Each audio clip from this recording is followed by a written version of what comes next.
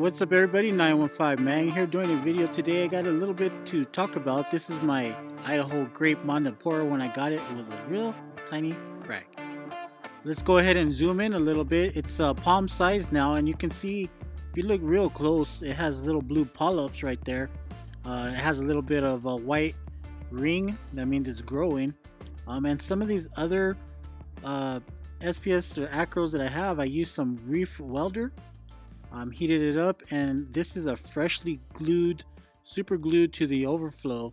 Uh, it's a little brown right now but uh, some of them are uh, coloring up due to the fact that uh, they're getting good flow and uh, they're gonna get baked by these T5 lights. You can see this one in the background is it was almost dead and uh, it started coming back alive and I don't know the name of it but it's doing really good. Here's another piece uh, I was checking it out and it was brown and now it's turning like a bluish violet with these little tiny polyps on it so it's doing good also. Uh, that purple stuff that I use is not uh, you know putty. I don't use putty anymore. I use that uh, plastic reef welder beads. You just mix it up in some hot water let it sit and uh, mix it up and then you can glue it onto your overflow. I do have a nice big section of uh, empty space on the, my towards the middle of the tank, and I'm gonna try to glue it on glass. Um, it does really good on plastic, but now I'm gonna try it on glass. Um, the uh, pink bird's nest in the background, really thick, doing really good. My leather right here though has kind of been irritated due to the fact of these purple and uh, green branching hammers you can see it right there. Um, but it's gonna get used to it. And another thing that I gotta let you know is this um, this chalice off to the left, the Hollywood Stunner, has sweepers and it has been doing uh, damage to that uh, same hammer itself. Check out this frog spawn, nice and fat, really really fluffy. Colors on it are awesome, and the LEDs are not hitting it directly, so maybe that's why it's so uh, open. So that's a little taste of the 180. I'll be giving you another 180 update later on. But in this video, I mainly want to talk about my 20 gallon long. It's just a cheap little Petco tank. Uh, $20 usually when you, you can get it for the uh, dollar per gallon. If you want anything bigger than 20 gallon from Petco, uh, you're going to be paying half price of what it, it is. So it's no longer really a 40 gallon breeder for $40. So here's the cheapo tank. 20 gallons. Simple as possible. Have a hang on back filter um, that I've reused many of times. And uh, this tank is getting full of frags. Um, I just cut them up, grow them out. Haven't really, um, don't really sell too much. I like to grow them out, have a backup. And uh, you know what, frags make me happy. And uh, especially the Zoas. Um, so let's go ahead and take a look at this tank. I'm going to show you the lighting. I'm still using the Coral Box LED. Uh, it's a good, good little light. And then above, I have the uh, T5s. Um, I did it like this because I, I love the look of T5s. They grow corals real good, color them up. But I do have them uh, ghetto rigged um, because I don't have a hanging kit for them. Uh, check this out though. I wanted to show this off. This is my custom made frag rack from uh, Blue Tide Acrylics. And as you can see, it says 915 Mang right there. And the top left and top right corners says 915 Mang. But check out the uh, sides. This is that ruby red acrylic. Looks pretty awesome. And then the top is just full of holes. He custom made this for me, Jake. Um, I did pay the total price that I paid with shipping was 60 bucks, but I had him drill holes for me so I can, you know, stuff this rack with tons of little frags, the different zones or whatever I decide to do.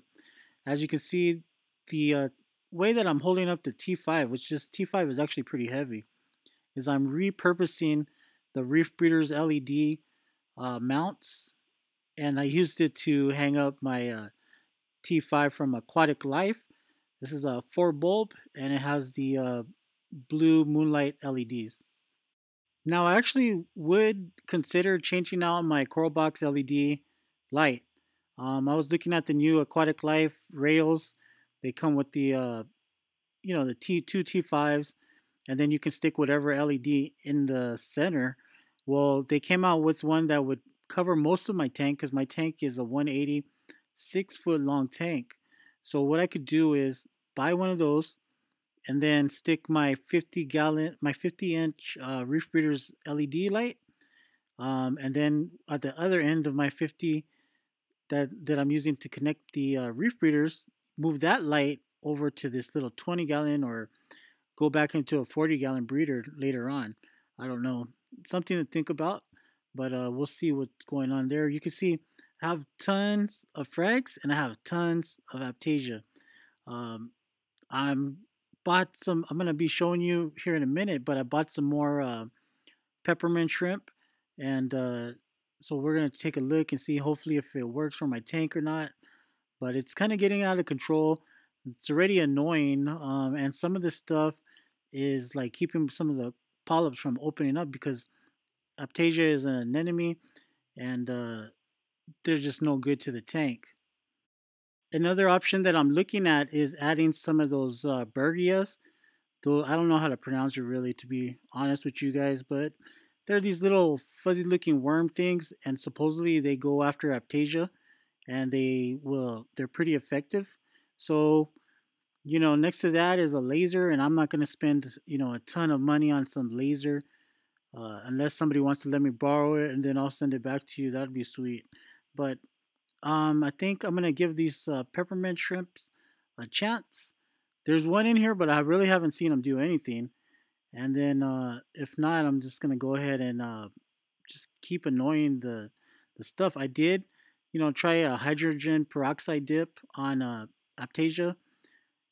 It it did fuzz up really nicely, and um, nothing really happened to my tank. But you know, there's so many in here that it would take a long time. I'm trying to look for a more natural way. Now I did add an emerald crab. I added two emerald crabs in this tank for the bubble algae. And I got to tell you, those um, emerald crabs so far have, have been doing work because on the bottom of the uh, 20 gallon, most of those frags are bubble algae free. I still got to manually, manually remove it, but um, it is working. You can see that I just flashed the uh, Polyp Lab. I am feeding my uh, corals that stuff. I still have the reef chili. I do want to try to buy some of that uh, Aquamax coral grub um, just to mix it up. I do uh, target feed my zoas and things like that.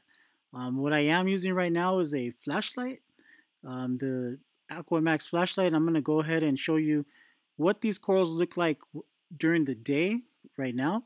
And then I'm going to flip it to um, the blues on and so that way you can appreciate the colors a little bit more. Now I did go to the LFS, picked up a few um, peppermint shrimp. Actually, I picked up all the peppermint shrimp that he had in stock. I went to uh, Sea Creatures. These ones that are bagged, um, I have two separate bags. And the reason I have two separate bags is because I was telling them, hey, you know what? These peppermint shrimps really um, suck. They're not really effective. They're not really doing anything for me. I've bought tons of them. So what he did is he got an Aptasia from his tank. He threw it where the uh, peppermint shrimp were. And then the ones that paid attention to the Aptasia, he bagged them up for me. And then after that, I went ahead and got the rest of them. So I put the ones that went after Aptasia right away into this 20 gallon. And then the other ones I'm going to throw in the 180 and see if they will do anything. So now let me show you what I got.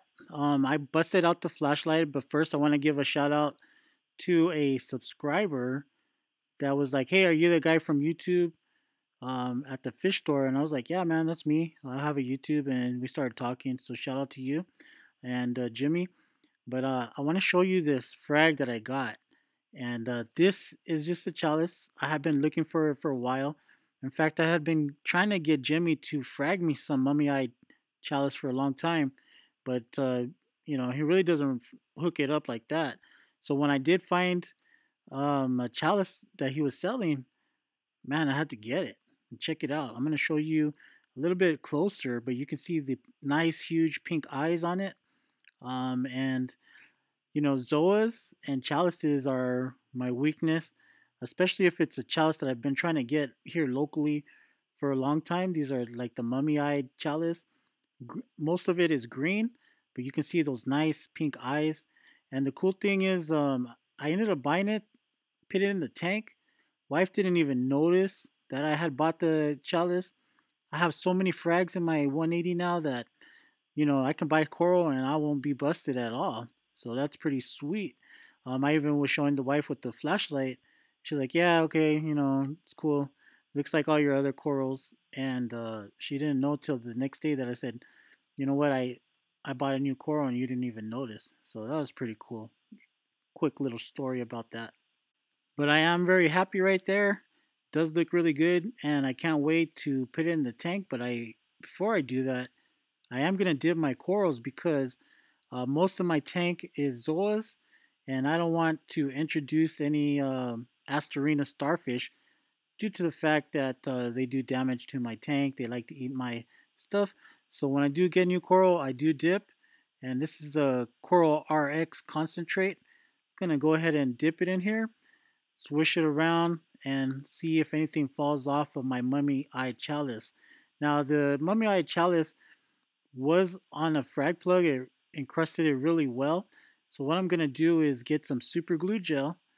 I'm going to put it on the base of this and then I'm going to add that to a larger frag disc so that way it can grow out and also not be tipped over by any fish or flow or anything like that because when once uh, corals flip over you don't pay attention to it um, chances are it's gonna die at least in my tank especially with that sugar fine sand uh, do not buy that crap. Uh, so once that's done I'm gonna go ahead and show you the 20 gallon long. You're gonna check out some of my candy that I have you know of course I have issues with my tanks and I have issues just collecting all these frags, but let's go ahead and take a look and you can see why I love it so much because of all the colors that I have from the Zoas, the different varieties. I want to get some more Zoas, um, but uh, you know it's all a process and a and a collection, and it's fun to start off with a couple frags, and then all of a sudden you have you know, a whole colony of different kinds of uh, zoas. So let's take a look, guys. I am using that uh, flashlight that I showed you again. It's just the coral eye view um, flashlight. It's blue and it really gets the colors going. Um, the mummy eye chalice that I had got, uh, the blues weren't on at the fish store. So I knew what I was looking for, but like if you don't know what you're looking for, and you happen to see something, you're not going to really see that whole color unless you carry a flashlight on you. And uh, I'm very happy with the way it looks and how it came out. And I'm glad to have it in my tank now. So it's going to be in the 180. And uh, here's some different pallies that I picked up from the uh, coral reef. And uh, lots of little zoas growing out in this tank. Um, I'm already using my little new frag rack that I picked up from um, from Jake at Blue Tide Acrylics. Check him out. Did a video on him because he gave me some uh, custom frag racks. They're like mini frag racks. And I do have them on this 20 because I have so many frag racks in this 20 uh, just to jam pack it full. You can see I have utter chaos, scrambled eggs, I have a ton of uh, rastas, I have a ton of cloves. Um, the cloves I picked up from Cultivated Reef and they're just done really, really well in these tanks. I have um, lots of corals going on here, lots of little zoas, you know, and these one heads will turn into two, three, four heads here shortly, and everything's looking pretty good. So I don't know about you guys. I just love the zoas and the pallies. I know you guys do too if you're watching. But um, I'm slowly going to get into acros. Uh, and the acans. I still love acans, but I want a variety of different colors uh, just to make the mixed reef pop and look better. Um, I do have a quarter coral order coming up, um, and uh, for those of you that entered, I'll be letting you guys know who actually won. I know I'm behind on that, but check these uh, Sunny D's out. Lots of Sunny D's, lots of other chaos, and um, it's gonna be growing out and I'm going to keep on reefing and my GSP and everything is doing really well. So let's see how it goes. I think everybody should have a frag rack, frag tank, and uh, if not a frag tank, at least a couple of racks in your uh, main display. Also, as far as maintenance goes on this this tank, I haven't done a water change on this tank. I did recently do a water change up until this video. I did a little 10 gallon water change, which was pretty awesome. Um, I just used the regular reef crystal salt and uh, I'm actually out of salt so I need to buy some more. So I'll probably be buying some on Amazon, uh, the 200 gallon box because it's like $60 and it comes with four bags of uh, salt and that usually lasts me for quite a while. I am uh, testing now again. I did get my replacement tests from uh, NYOS and uh, I really like them so keep a lookout in that for that in that uh, the upcoming videos.